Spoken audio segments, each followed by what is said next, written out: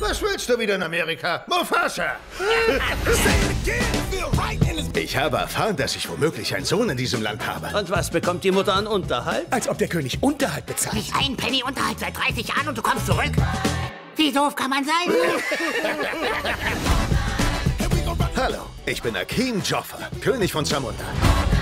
Du bist mein Thronfolger. Ja, mein Sohn. Er ist angeblich sowas wie der Prinz aus Wakanda. Wakanda ist ein erfundenes Land. Gar nicht für mich nicht. Zamunda hingegen existiert wirklich. Ich brauche sicher keine Almosen. Blick mal. Alles klar, ich gehe da mal packen. Okay, Baby. Ja.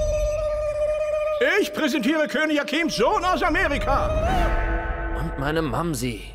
Und seine Mamsi. Kinder, das ist euer Bruder. Hey, Königin. Sorry, dass ich mit deinem Kerl gepennt hab. Das war bevor wir uns kannten. Du bist ja auch nicht der allererste Mann, mit dem ich zusammen bin. Sicher, ich habe... Oh, oh, oh, Was sagst du da über andere Männer? Ich habe immer gedacht, dass Mika mal Königin wird.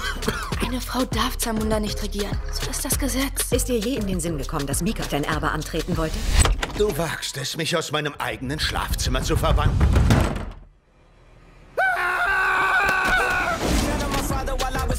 Was ist los, Junge? Alle prügeln auf mir rum. Familie ist sauer auf mich.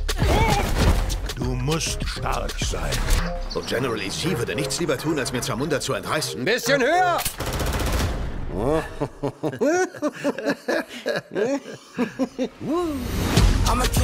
Klatscht in die Hände! Hört sich gut an. Und nochmal! Die Party ist am Start! Dein Stil ist in meinem Reich fremd, das gebe ich zu, aber er ist beeindruckend. Gut so, ja. Sehr Uh, schön. jetzt musst du mal sagen, hey ho. Hey ho! Oh nein, nein, ho, nicht, heißt Tore. seine Mutter. Nicht So, cool. man sagt nicht. Nein, nicht zu seiner Mutter. Er ist fast so weit, ein Prinz zu werden. Warum fast? Die Zeit ist reif. Zeremonielle Beschneidung. Bringt mir die königliche Machete. Machete? Dir wird der Stift angespitzt, Neffe!